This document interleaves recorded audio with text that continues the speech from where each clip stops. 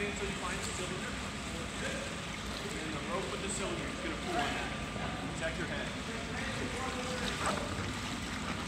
Excellent, just like that. Cool.